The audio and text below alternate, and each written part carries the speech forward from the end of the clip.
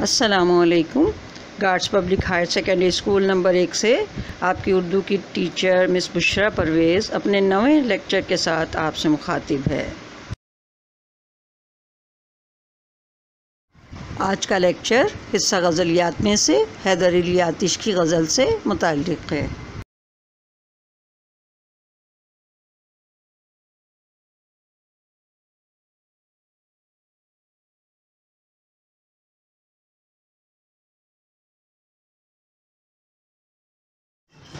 तारुफ शायर हैदर अली आतिश, जिन्हें दबिस्तान लखनऊ का नुमाइंदा भी कहा जाता है आप सत्रह में दहली में पैदा हुए। कमसनी में ही वालिद का इंतकाल हो गया। माली हालात ख़राब हुए तो नवाब मिर्ज़ा तकी की मुलाजमत इख्तियार कर ली और दिल्ली के हालात ख़राब होने पर उनके साथ ही लखनऊ आ गए। यहाँ शायरी में मुसफ़ी के शागिर्द बन गए। ज़मीन चमन गुल खिलाती है क्या क्या? ज़मीन चमन गुल खिलाती है क्या क्या? बदलता है रंग आसमां कैसे कैसे? लखनऊ की चकाचौंध और आबोताब ज़ौक शायरी के लिए मौजू थी। गो के तसवुफ़ और दरवेशी उनके मिजाज में थी, लेकिन शायराना आज़ादाना, शायरी आज़ादाना रवि से करते रहे। ये आरज़ू थी तुझे, गुल के रू बरू करते। ये आरज़ू थी तुझे, गुल के रू बरू करते। हम और बुलबुले बेताब गुफ्तगु करते। बादशाहों के दरबार से हमेशा दूर रहे, ना किसी का कसीदा लिखा और ना ही मधा सराई की। लेकिन बादशाह ने अजराह कदरदानी उनका वजीफ़ा अस्सी रुपये मुकर कर रखा था। उनकी ज़िंदगी तवक्ल सब्र शुक्र, कनात, ईमान व यकीन का पैकर थी। इसीलिए उनके मिजाज में कलंदराना शान नज़र आती है। मकाम तक भी हम अपने पहुँच ही जाएँगे। मकाम तक भी हम अपने पहुँच ही जाएँगे। खुदा तो दोस्त है, दुश्मन हज़ार राह में है। उन्होंने कलील आमदनी के बावजूद अपने ख़ानदानी वक़ार को हमेशा कायम रखा। आखिरी उम्र में बिनाई जाती रही, लेकिन घर में ही कैद रहे, जहाँ शागिर्दों का आना जाना लगा रहता। आखिर सत्तर साल की उम्र में अट्ठारह में लखनऊ में इंतकाल हुआ। वहशी थे बुए गुल की तरह से, जहाँ में हम। वहशी थे बुए गुल की तरह से, जहाँ में हम। निकाले तो फिर के आए ना, अपने मकाम में हम। हैदर अली आतिश सिर्फ़ गज़ल गो शायर थे। उनका तमाम कलाम ज़ुबान की मरसा साजी और बंदिश अल्फाज पेश करता है। ज़ुबान का हुस्न और जज्बे की सादगी और सदाकत शायरी में नज़र आती है।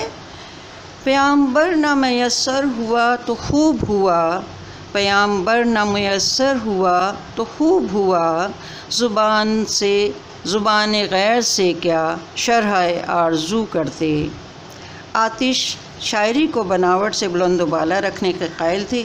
उनके कलाम में दर्दमंदी सोज़ो गुदाज आरज़ू और कसक के अलावा उम्मीद, तलाश जस्तु की तरगीब भी मिलती है।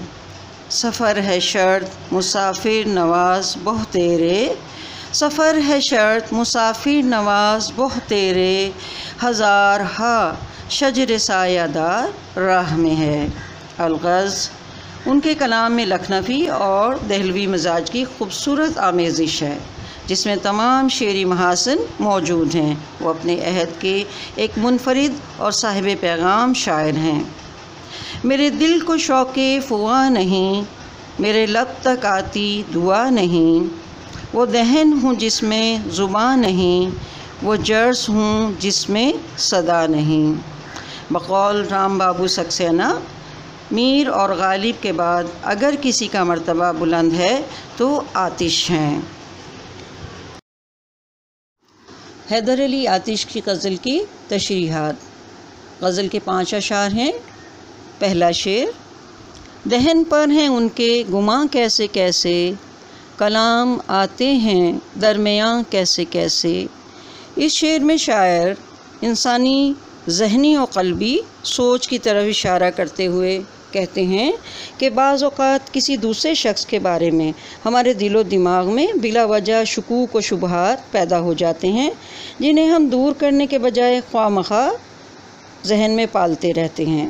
और जब वो शख्स हमारे सामने आता है तो वही ख्यालात, जहरीले अल्फाज बनकर हमारे मुँह से निकल जाते हैं, जिससे आपस के अच्छे ताल्लुकात ख़राब हो जाते हैं। लेकिन बाज़ अवत हमारे दिल में शकूक तो होते हैं लेकिन हम मसलहता खामोशी भी इख्तियार कर लेते हैं या बातचीत में चिकनी चिपड़ी बातों का सहारा लेकर अंदर की मुनाफ़त को ज़ाहिर नहीं होने देते, ताकि सामने वाले को आपके दिली ख्याल का पता ही ना चल सके। शेर नंबर दो, ज़मीन चमन गुल खिलाती है क्या क्या बदलता है रंग आसमां कैसे कैसे इस शेर में शायर दुनिया के मुख्तलिफ़ लोगों की आदतों के बारे में बात करते हैं कि अल्लाह ताला ने इंसान को एक मुख्तलिफ़ सोच और रंग रूप देकर भेजा है। जिस तरह बाग़ों में मुख्तलिफ़ फूल खिलते और हर एक की मुख्तलिफ़ खुशबू होती है, ऐसे ही तरह तरह के लोग भी दुनिया में मौजूद हैं। लेकिन अल्लाह ताला ने हर एक को एक ही मकसद के तहत दुनिया में भेजा है। किसी की अपनी कोई मर्ज़ी और कोई इरादा अल्लाह की मर्ज़ी पर गालिब नहीं आ सकता।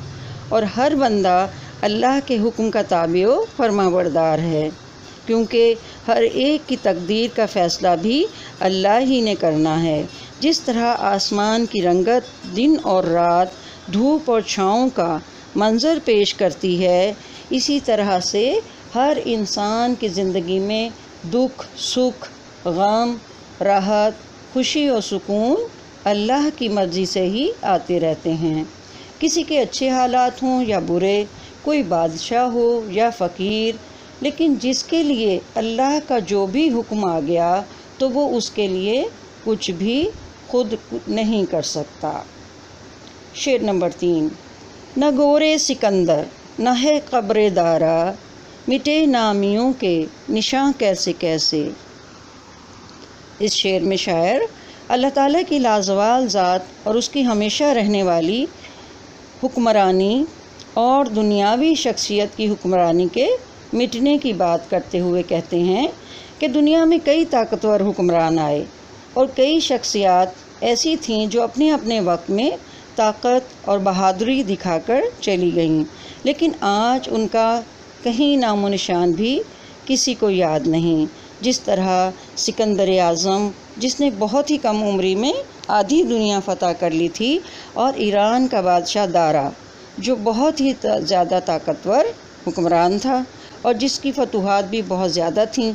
लेकिन अफसोस, लोगों के जहनों में उनका कोई नामो निशान तक मौजूद नहीं और ना ही उनकी कब्रों के निशानात हैं।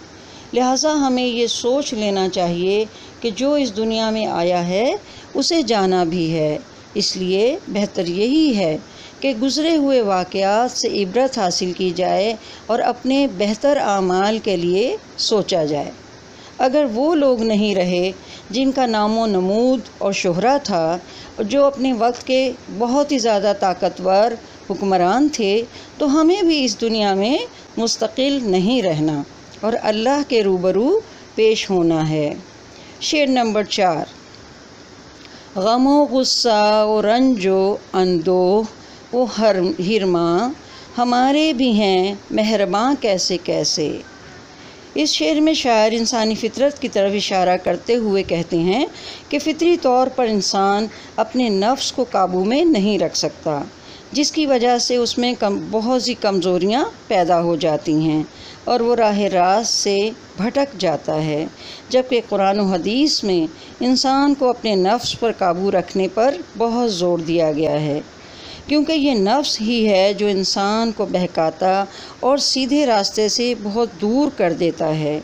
मसलन बहुत सी नफसानी आदत, जैसे गीबत, बदगुमानी, लालच, शक व शुबा, गुरूर और नीचा दिखाना वगैरह ऐसी आदतें हैं जो इंसान को बहुत खुशनुमा तो लगती हैं, मगर जब इन्हीं बुरी आदतों और गलत हरकतों की वजह से वो परेशानियों में मुबतला होता है और जिसकी वजह से वो बंदा अल्लाह की नाराज़गी और अपनी दुनिया और आखरत ख़राब कर लेता है।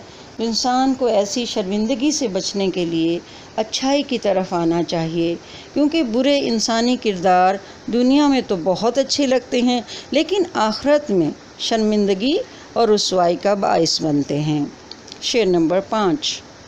करे जिस कदर शुक्र, नेमत वो कम है, मज़े लूटती है ज़ुबान कैसे कैसे। इस शेर में शायर अल्लाह ताला का शुक्र अदा करने की तरगीब देते हैं और कहते हैं कि अल्लाह ने ज़ुबान का जायका अता करके हमें एक बेहतरीन और ख़ूबसूरत नेमत अता की है, क्योंकि इस दुनिया में हमारे खाने पीने और जीने के लिए हमारे बेहतरीन और लाजवाल रब ने बेहतरीन जायकेदार, मुख्तलिफ़ अनवा अकसाम के फल, सब्ज़ियाँ और मेवे अता किए हैं, जो गज़ाई लज्जत से भरपूर हैं।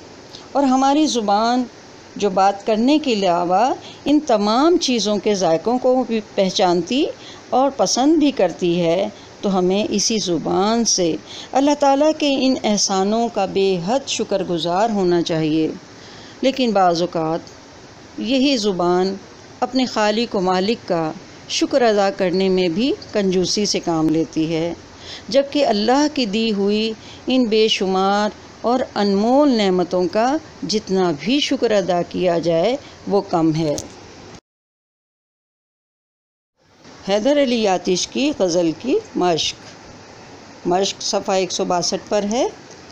सवाल नंबर एक में आपके पाँच सवाल हैं। अलीफ़ आतिश गज़ल का कौन सा शेर आपको ज़्यादा पसंद आया? वजह भी बताइए। अब ये आपको ख़ुद ही करना है।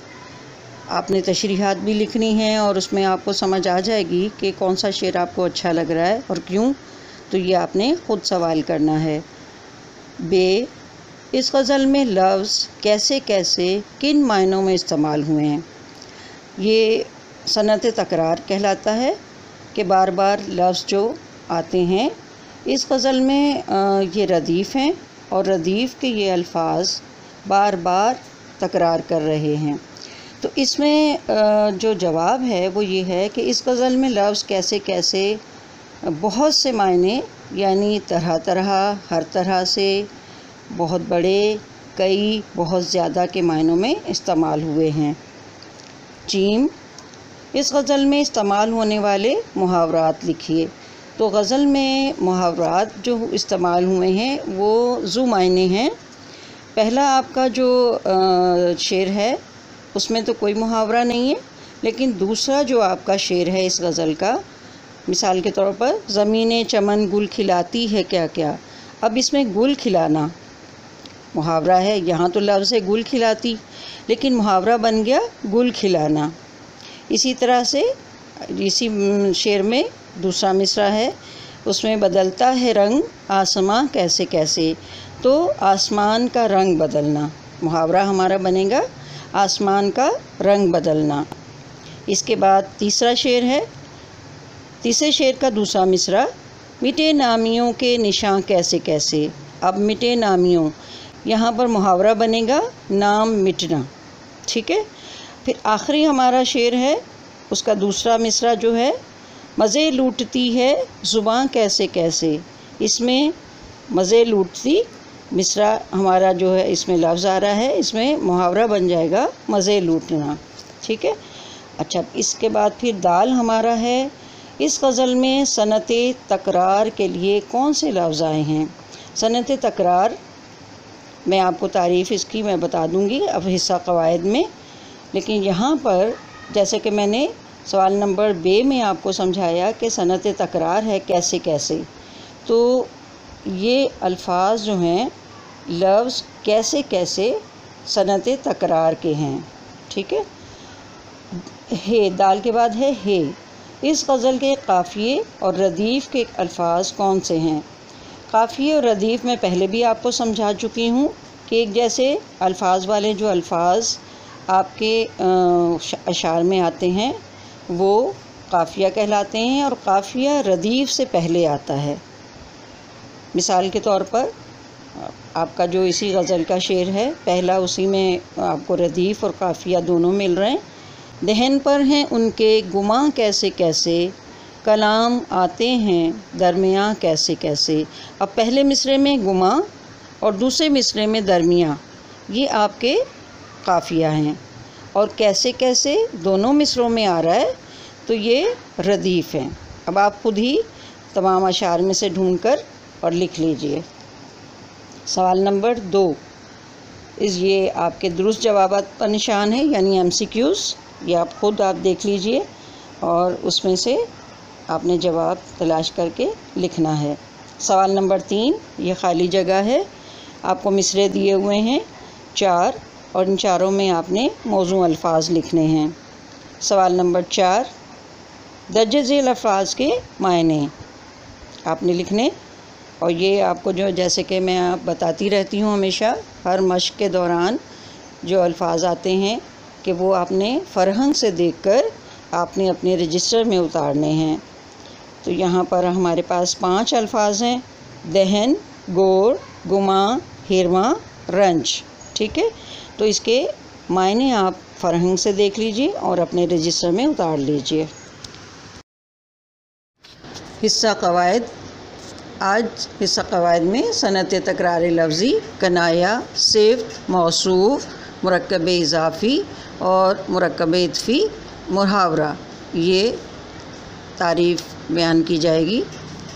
सबसे पहले सनत तकरार लफ्ज़ी शेर में किसी लफ्ज़ या हर्फ को एक से ज़्यादा बार इस्तेमाल में अगर लाया जाए तो उसे सनत तकरार कहा जाता है।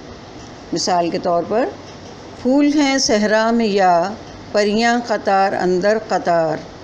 फूल हैं सहरा में या परियाँ कतार अंदर कतार। ऊदे ऊदे, नीले नीले, पीले पीले पैरहन। अब इस शेर में ऊदे ऊदे, नीले नीले और पीले पीले ये सनत तकरार लफ्ज़ी कहलाते हैं। कनाया किसी भी बातचीत करने में या बोलचाल में अगर हकीकत बयान ना की जाए और बात इशारे में की जाए तो सिनफ़ अदब में उसे कनाया कहते हैं। मसलन, मर जाए ये या कुछ हो, किसे ध्यान किसी का? दुनिया में नहीं कोई, मेरी जान किसी का? सिफ्त जो कलमा किसी इसम या चीज़ की अच्छाई बुराई बयान करे, उसे इसमें सिफ्त कहते हैं। मसलन, जहीन लड़का लजीज मिठाई। मौसूफ, जिस इसम या चीज़ की अच्छाई या बुराई बयान की जाए, उसे इसमें मौसूफ कहते हैं। मसलन, सड़क कुशादा, बच्चे ज़िद्दी किताब, उम्दा, लड़का, चालाक।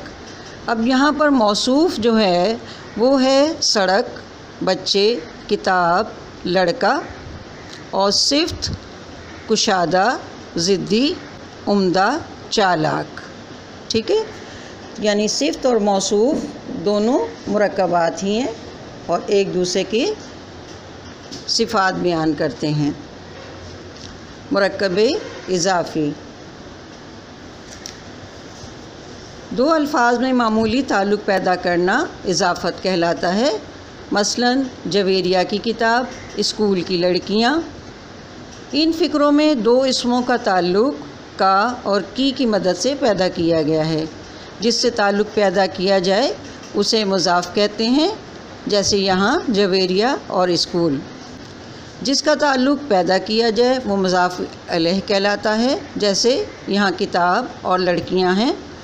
लफ्ज़ का, की, के इजाफ़त की अलामत हैं। हरूफ इतफ़ी। दो इसमों या दो जुमलों को आपस में मिलाने के लिए जो हरूफ इस्तेमाल किए जाएँ और उनसे जो मरकबात बनते हैं, उन्हें मरकब इतफ़ी कहा जाता है। मसलन, सबक याद कर लो। असमा और आयशा दोनों बहनें हैं। सुबह और शाम अल्लाह ताला की बेहतरीन निशानियाँ हैं। इसमें कर और और वाओ ये हरूफ ऐसे हैं जो मरकबात को, यानी इसमों को जोड़ रहे हैं और जुमलों को मुकम्मल कर रहे हैं। मुहावरा। मुहावरा लगत में बोलचाल और बातचीत को कहते हैं, लेकिन असलाह में ख़ास बोलचाल का नाम है। मिसाल के तौर पर रोटी खाई और कसम खाई को देखिए, पहले जुमले में खाना हकीकी मायनों में इस्तेमाल हुआ है, लेकिन दूसरे जुमले में नहीं। लिहाजा दूसरा जुमला मुहावरा है। कुछ और मुहावरे, आपे से बाहर होना, आसमान टूटना, आँखें बिछाना वगैरह, ये मुहावरा है।